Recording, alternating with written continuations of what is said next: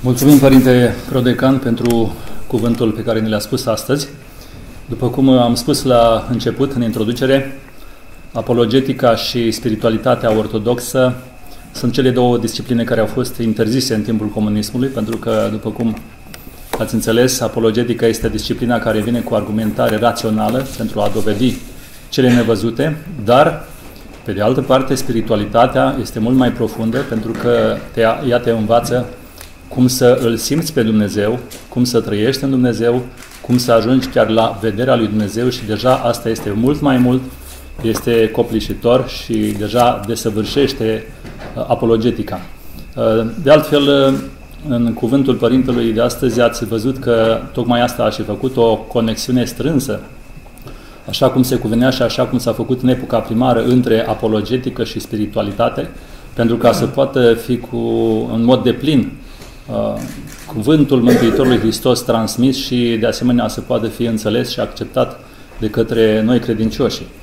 Apologetica de astăzi, disciplina aceasta și manualele pe care le-am, vi le-am prezentat, uh, sunt uh, mult mai ample, după cum am spus, pentru că problemele de astăzi sunt mult mai complexe și mai multe față de perioada patristică și a apologeților și ca atare este necesar să se dezbată toate problemele societății pentru că astfel să venim și să uh, combatem și de asemenea în primul rând combatem prin exemplu personal să cunoaștem noi înșine cum să ieșim uh, din aceste situații și cum să le respingem noi pentru ca după aceea și ceilalți din jurul nostru să facă același lucru.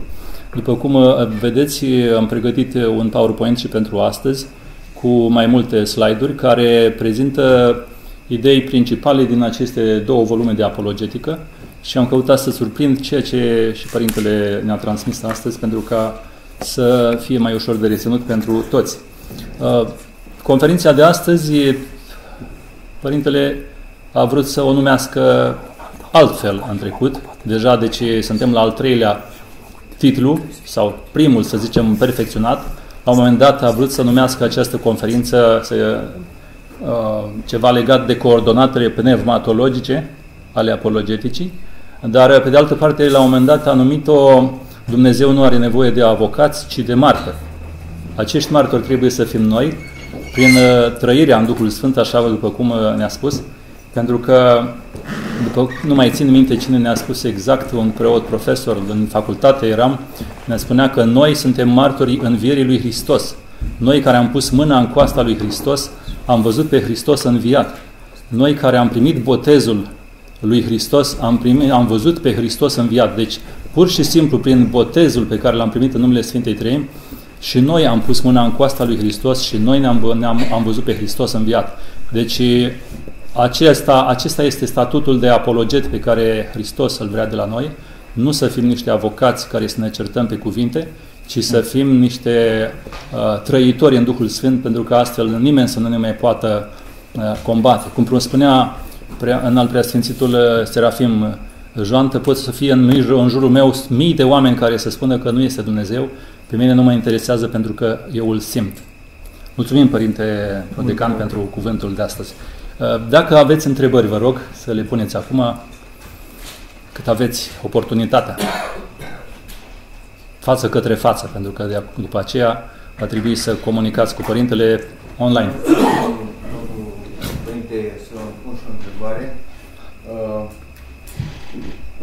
Sfântul Ignatie Bianceninov spune ceva despre înșelare într-o carte de a, de a, de a Sfântului, în care prezintă o idee și o ipoteză că tot omul este înșelat deodată, deodată cu căderea în păcat a lui Adam. Și toți oamenii sunt înșelați în uh, anumite privințe, în multe privințele, poate că și să fim lipsiți de ignoranță și adică să, cumva să fim loviți de ignoranță, dar uh, ideea este că cum am putea fi niște apologeți uh, și a, a dori să mărturisim adevărul Dumnezeu în fața unor oameni care sunt uh, refractați sau, adică putem mărturisi oricui, uh, să fim apologeți, adică oricui oricăror oameni fără fi Am înțeles. loviți de egoismul nostru care ne spune că nu ne, nu ne, nu ne ascultă acei oameni. Deci, Așa cum am putut, bineînțeles. cred că am sesizat un pic. Uh, avem un sfânt contemporan foarte, foarte simpatic, foarte tonic, Sfântul Porfirie. Da? Cum citești, cum te apucă bucuria. Tratează lucruri adânci într-un mod cât se poate de simplu. Fac o mică excursie așa pe la uh, Constantin Brâncuș. Unul din aforismele lui spune așa că greu nu e să faci o operă, ci să te pui în starea de a o face. Căutarea noastră Căutarea noastră e să fim. În clipa în când suntem, devenim și mărturie în jurul nostru. Trebuie să precizez un lucru față de toate celelalte discipline. Apologetica se ocupă cu aceste apologii care sunt adresate sau erau adresate în special, în special spun, în exteriorul bisericii. Toate celelalte producții teologice sunt pentru edificarea, în general, a poporului Dumnezeu în interiorul bisericii. Apologetica este o, uh, apologetica. Apologiile erau cel puțin la început orientate către cei care nu cunoșteau viața bisericii.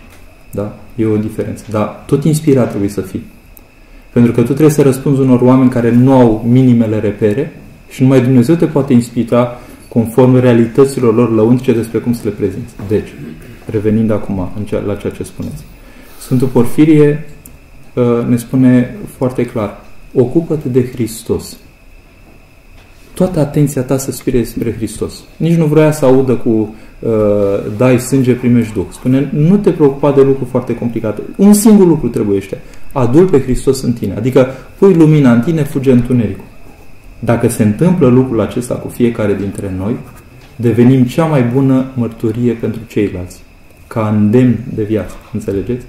Pentru că uh, slava lui Dumnezeu este omul purtător de Dumnezeu. Da? Un om care e trăitor de Dumnezeu îl exprimă cumva pe Dumnezeu prin toată trăirea lui, prin ceea ce este. Și asta este cea mai eficientă, să spunem, mărturie. Cum se face lucrul acesta? Viața bisericii în întregimea ei, mă întreb. Mă, mă învață. Da? Deci nu intrăm acum în amănunte. Dacă trebuie să spunem tuturor și fiecăruia în parte să fim noi mari apologezi, nu, eu nu propun nimic. Eu, am eu trebuie să primesc o chemare din partea bisericii ca să mă apuc să fac nu știu ce. Deci nu mă voi duce acum brusc pe Facebook că mă apuc eu să fiu marele apologet, da? M-au luat și pe mine, m-au scuturat un confrate mai în vârstă ca mine. Dar cine te vezi? Cine te crezi tu? Te, te-ai apucat? Mă apucasem să... Dar el nu știa că eram blindat cu binecuvântarea înaltului care mi-a spus sunt pe Facebook, ieși în întâmpinarea lor. În cauza asta făceam. Și atunci eram liniștit. Deci vedeți ce înseamnă să fii în bunul tău rost. Da? Uh, și ultima idee apropo de ce spuneți. Uh, gândiți-vă de Paști ce se întâmplă. Aici, în al preasfințitul, preoți, se răspândește lumina pascală, da?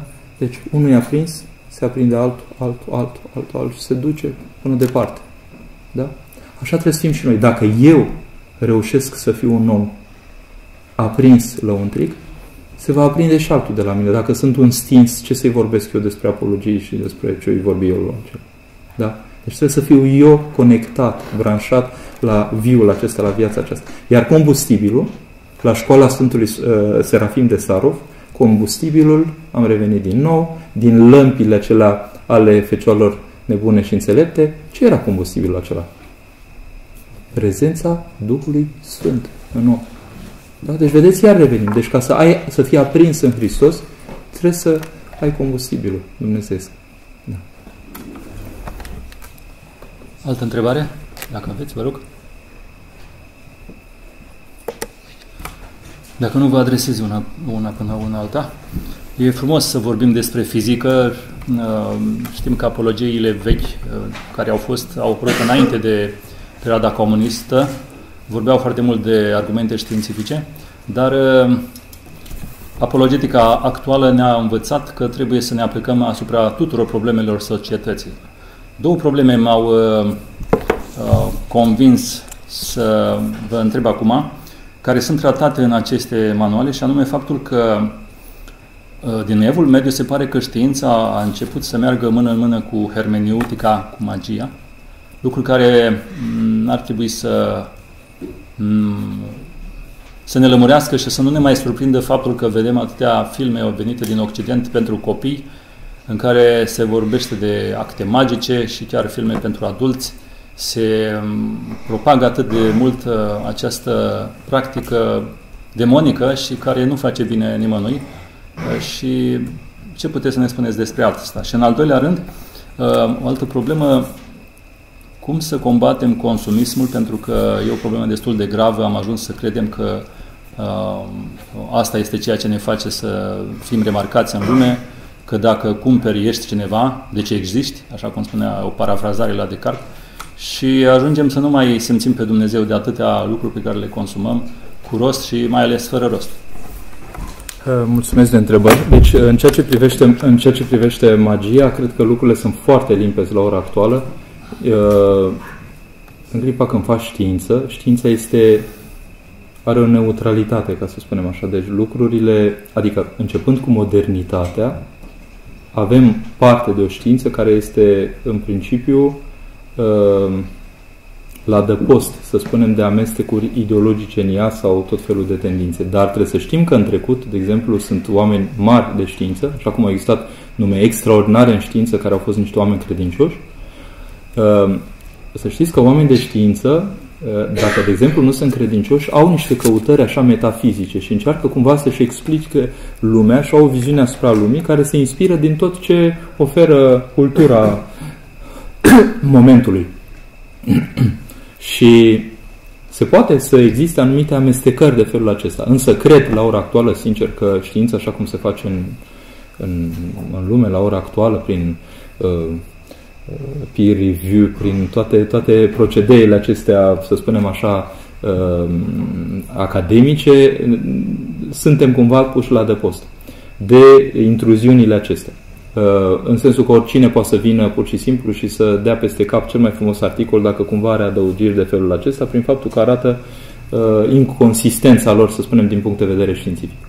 Însă, remarca noastră este foarte importantă în ce sens?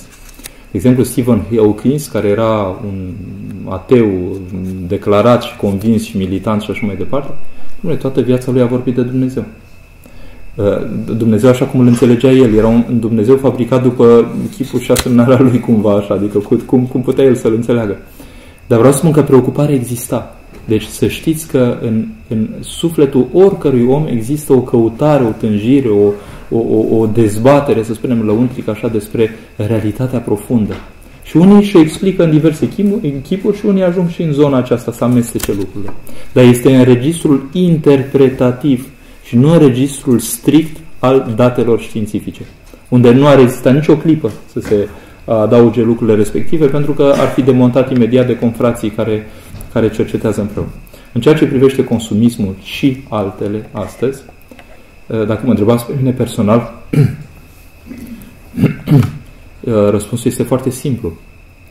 Dacă nu avem o atitudine lăuntrică, că fiecare zi este ceva lăsat de la Dumnezeu, spre efectiv a aduce ziua respectivă cu Dumnezeu și a câștiga folos din ziua respectivă, astfel încât când te-ai dus la culcare să poți să te culci ușurat și bucuros că s-au întâmplat lucruri minunate în ziua, sau bune cel puțin în ziua respectivă, dacă nu-ți câștigi zilele așa, zilele se pierd.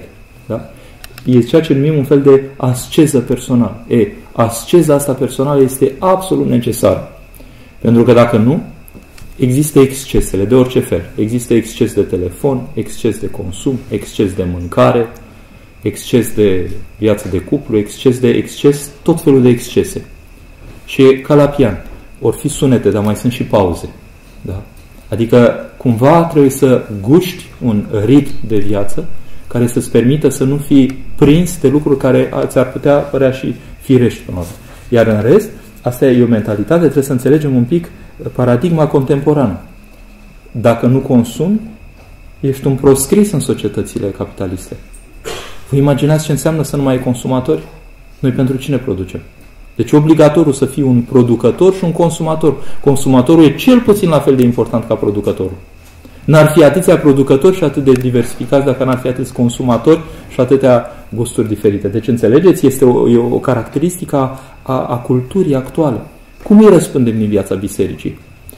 Alegând lucruri de bună calitate pentru noi, nu mi-e rușine cu mașina mea, care a costat mai ieftin decât uh, altele, deși pare foarte bine, care își arată utilitatea, dar în același timp nu mă repet spre nu știu ce model care nu știu cum pare și așa mai departe, numai ca să dau o imagine, ci văd un pic ce aduce efectiv mașina asta în viața mea, ce am eu nevoie. Da? Deci, e, pe de o parte, îmi permit ceva, pentru că dacă nu mi-aș permite, m-ar costa în realitate mult mai scump, și pe de altă parte, nu mă arunc spre ceva ce ar fi superflu în viața mea când aș putea să folosesc restul de bani pentru lucruri foarte valabile.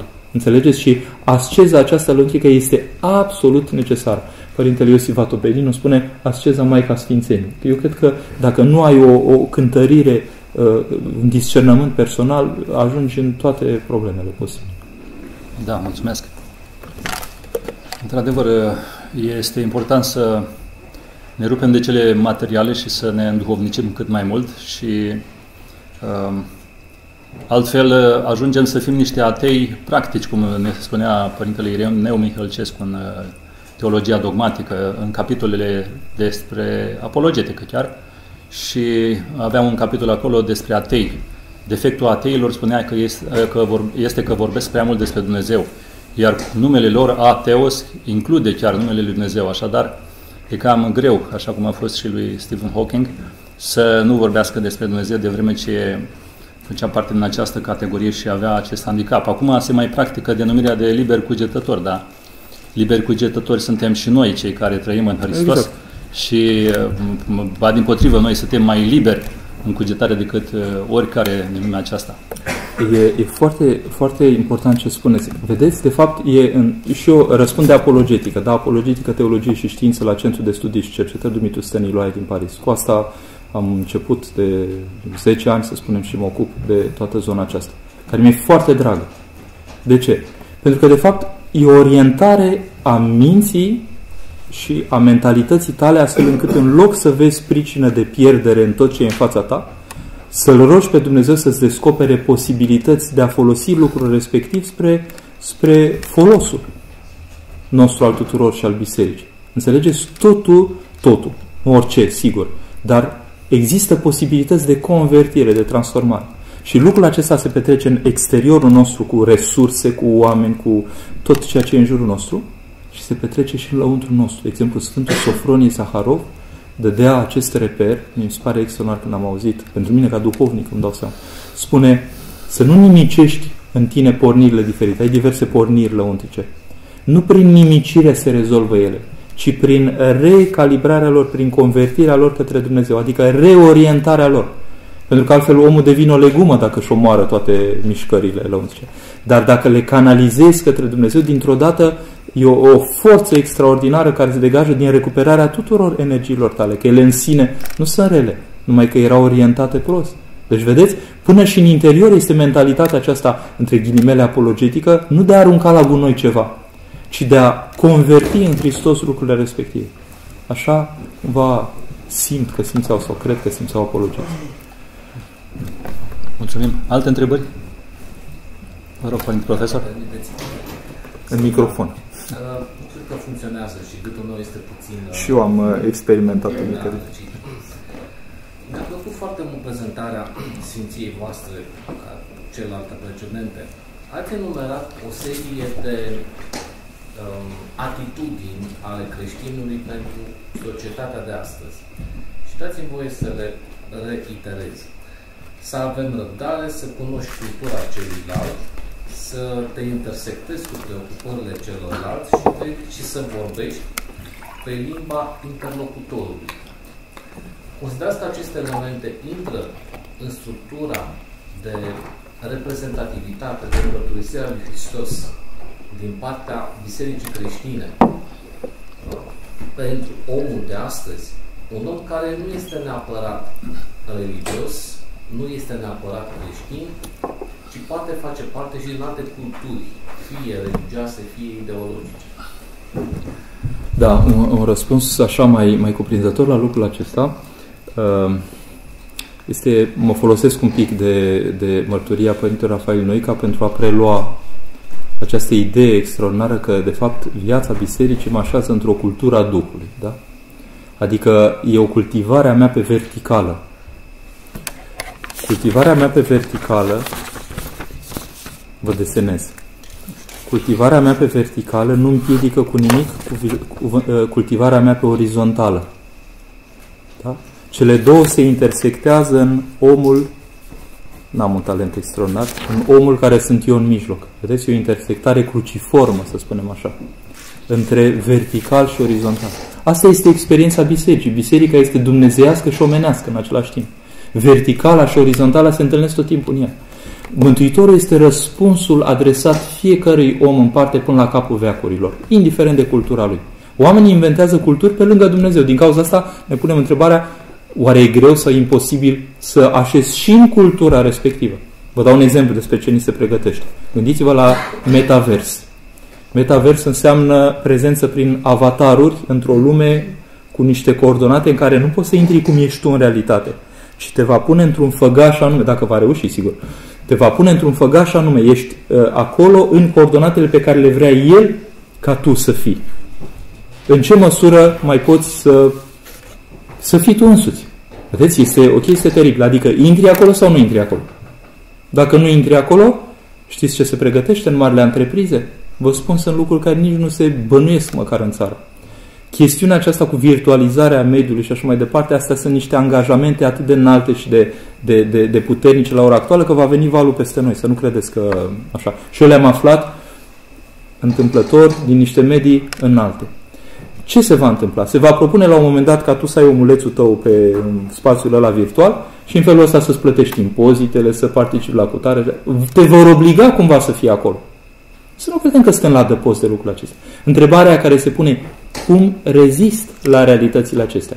Mă, din nou, ca la Sfântul Vasile cel Mare, mă duc în pădure, mă ascund, încerc să le transform, nu am un răspuns deocamdată. Biserica întreagă va formula un răspuns prin viața bisericii. Nu știm, pentru că e o lucrare adâncă. Dumnezeu să ne inspire. Dar dau exemplu de presiune din partea uh, culturilor contemporane, nepreocupate cu mic de ceva duhovnicesc, să ne așeze moduri de funcționare ale noastre care ne transformă. Nu mai suntem la fel după aceea. Și într-adevăr, de aia întrebarea noastră este redutabilă. Cum facem? Sigur.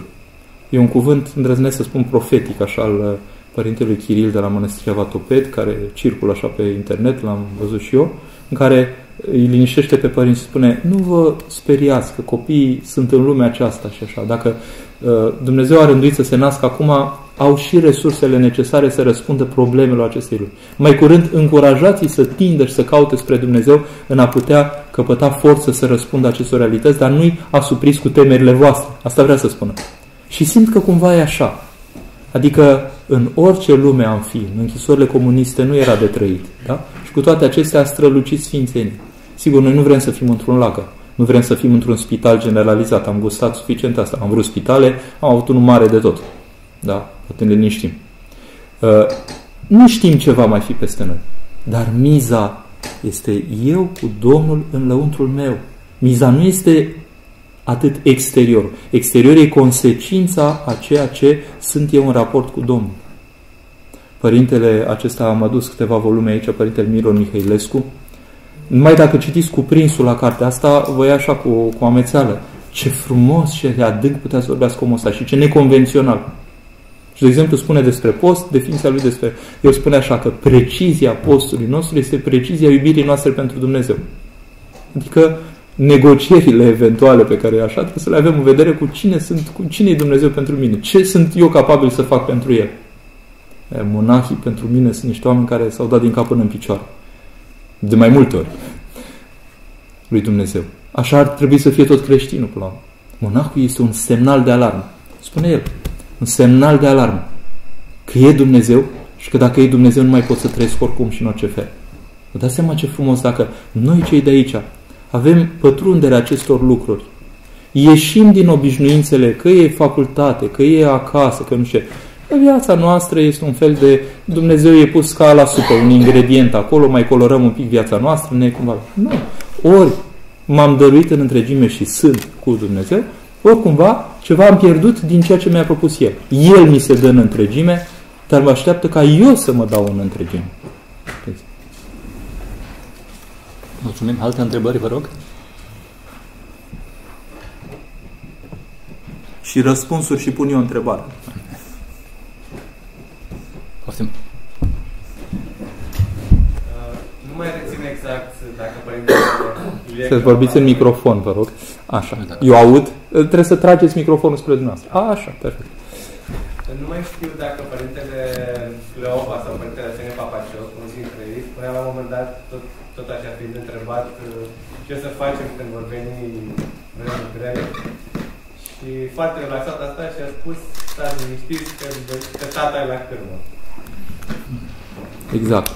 Lucrul acesta, pe de-o parte, vedeți ce e uimitor în viața, în viața bisericii. Sunt câteodată, câteodată cuvinte atât de dense care acoperă toată realitatea, dar și ca să acopere toată realitatea, trebuie să înțelegi, să ajungi tu la pătrunderea nimic acoperă toată realitatea. Că altfel trec pe lângă tine cuvintele și simțirea respectivă.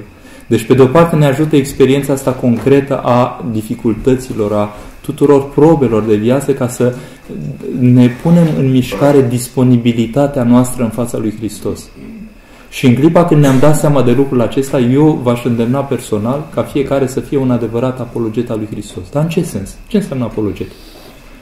Pur și simplu să-mi dau seama că sensul vieții mele și frumusețea vieții mele și tot ce e mai valabil până la urmă, vin în legătură cu el, nu vin altfel. Și pur și simplu, orice bucurie am, orice, orice, din bucuriile mele, din trăirile mele, din ceea ce trăiesc eu, să împărtășesc cu drag, cu discernământ, acolo unde e cazul, și altora, să-i fac părtași bucuriei mele. Vedeți? E, e cumva firesc cu bisericii să dea mărturie de, de, de, de, de minunile, până la urmă, care se petrec cu noi. Înțelegeți? Și în felul acesta, eu cred că sporim în viața bisericii, efectiv. Adică sporește biserica, sporește devenirea duhovnicească a oamenilor. Și să nu teoretizăm nimic. Deși cuvântul teoretizare e foarte problematic pentru noi, că vine de la teoria, contemplare. Adică să aibă legătură cu experiențele noastre pe cât se poate nemijlocite cu Dumnezeu. Că atunci cuvântul are și putere în clipa când e în relație cu ceva din, din, din, din încercarea mea de a-L câștiga pe Dumnezeu. Mulțumim. Vă rog, alte întrebări?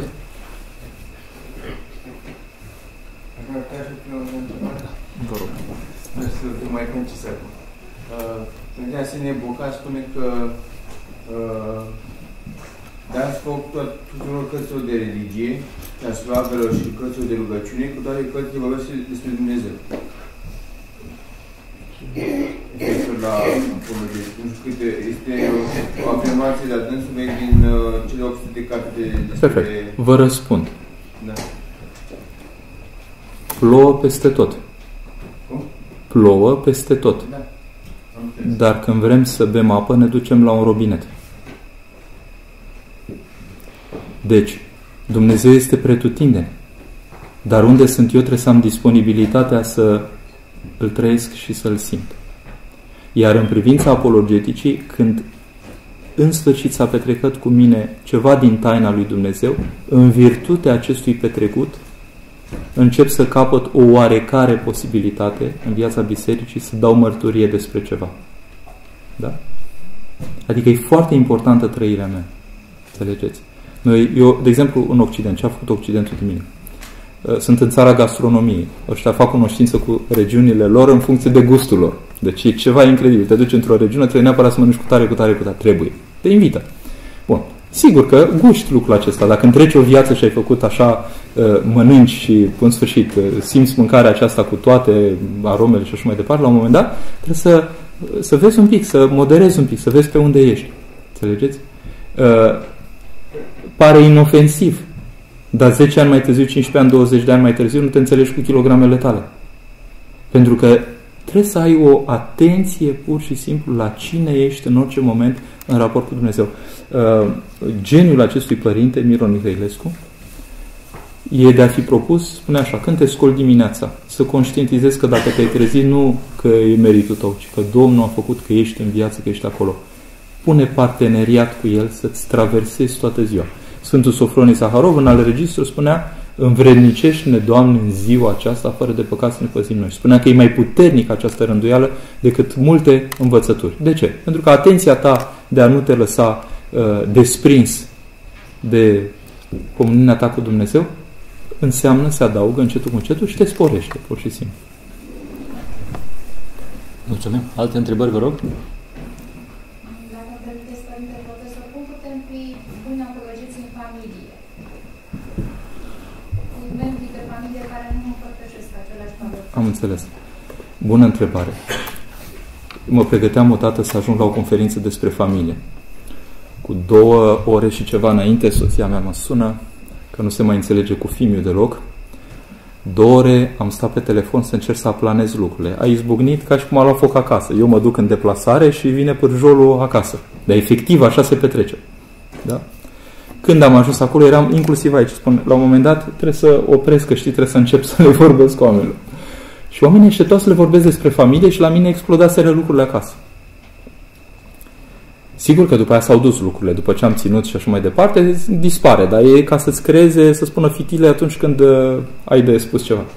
Așa că mi-am început discursul în fața tuturor, le-am spus, iertați-mă, aveți în față un om falimentar în posibilitățile lui de a face ceea ce trebuie în familia lui. În sensul că constat neputințele noastre, fragilitatea noastră și așa mai departe. Mă uitam la Maica Siluana, întotdeauna te izbea cu neputința ei, ți-o arunca în față noi, în general, o ascundem. Nu aruncăm în fața celorlalți. Ea nu avea niciun stres. Spunea foarte clar, uite, neputințați și așa mai departe. Dar de la ea îți dai seama că ea este într-o lucrare și te antrena și pe tine într-o lucrare. Deci, în familie, nu trebuie să cosmetizăm lucrurile. Vă dați seama ce înseamnă într-o familie de preot? Că copiii te văd cum ești tu. Și copiii încep să ia de la tine lucrurile negative. E garantat. Alea pe care nu vrei niciodată să le vezi la tine, alea se văd în copii. De ce procedează Dumnezeu așa? Ca în sfârșit să le vezi. Și atunci când ai exercițiul ăsta în familie, nu ești pe o poziție privilegiată, nici ca părinte măcar.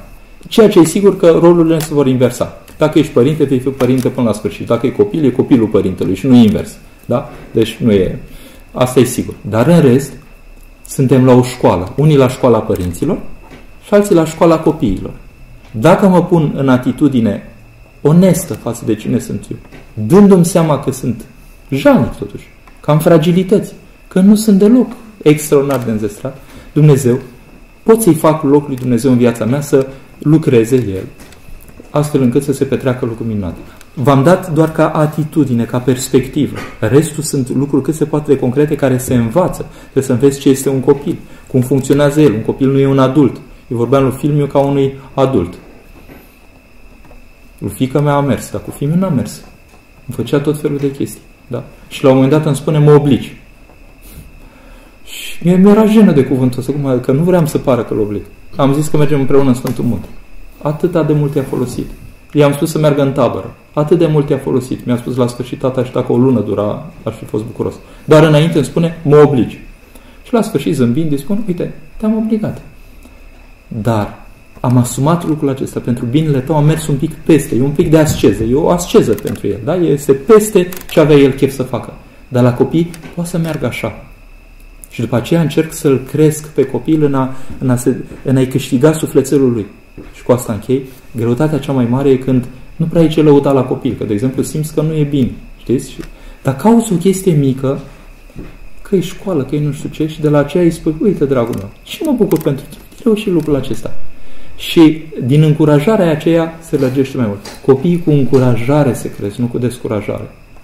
Aici poate am greșit foarte mult. Da? Nu cu etichete pe ei, nu cu, uh, cu mesaje negative. Dragul meu, uite, lucrurile se construiesc. N-ai reușit asta, nu e o problemă. Hai să vedem ce putem face ca să creștem. Înțelegeți? Pe atitudinea aceasta dau viață. Pe atitudinea cealaltă omor, pur și simplu. Da, mulțumim. Foarte interesant, într-adevăr. Îmi amintesc de un cuvânt al preafericitului Daniel când era la Iași, metropolit, spunea că uh, familia preotului trebuie să fie într-adevăr un model. Astăzi ne-ați vorbit de problemele care pot să apară și în familia noastră, ca și în familia tut, oricăruia. Și spunea că în cazul în care, predat la teologie pastorală, la disciplina teologie pastorală, în cazul în care familia ta ca preot nu este model, credincioșilor le dai ca model alte familii, nu avem ce face. Și psihologia din ziua de astăzi spune foarte interesant și trebuie să ne dea de gândit că în urma experienței psihologilor, 19, 19 din 20 de familii au probleme. Ca tale, doar copiii dintr-o singură familie trăiesc într-un mediu familial sănătos și de aceea trebuie să fim cât mai buni trăitori în Hristos pentru ca să putem să ne facem misiunea noastră de apologeți în familie așa cum ni se cere. Toată lumea are necazuri, așadar, dar noi nu le vedem și uh, trebuie să fim conștienți de asta și să nu-i credem fericiți pe ceilalți, pentru că nimeni nu este ferit de acest efort al urcușului duhovnicesc către Hristos. Dar vă dați seama ce, ce presiune pe, pe copii de preot. Că ei trebuie să fie model sau familia trebuie să fie model. Vă imaginați ce înseamnă într-o parohie că toată lumea se uită la copiii aceia? Este teribil. Și atunci părintele trebuie să-i mângâie și să spună, uite, stai, tu ești tu și eu sunt eu, facem ce putem, ne străduim, ne ajutăm unii pe alții și așa mai departe. Adică să de-stresăm un pic, pentru că apare ori problema ca la uh, Virgil Gheorghiu cu, de exemplu, tata se ocupă de toți copiii numai de mine, nu? Sau, în orice caz, e tată la atâtora și nu mai are timp de mine. Ori problema că sunt în centru atenției și că toți mă judecă și că toți și așa mai departe sunt. Dar astea se detaliază. Uh, însă trebuie să fie un duh bun în familie. Un duh bun în familie cred că este acela care, efectiv, uh, ei ajung să se roage împreună, măcar din când în când, ajung să-și vorbească cu sufletul deschis problemele lor unii cu alții uh, și sunt conștienți de faptul că suntem plini de fragilități și de aici se pleacă. Că Dumnezeu știe lucrul acesta, cu materialul ăsta lucrează, nu cu Mulțumim. Alte întrebări?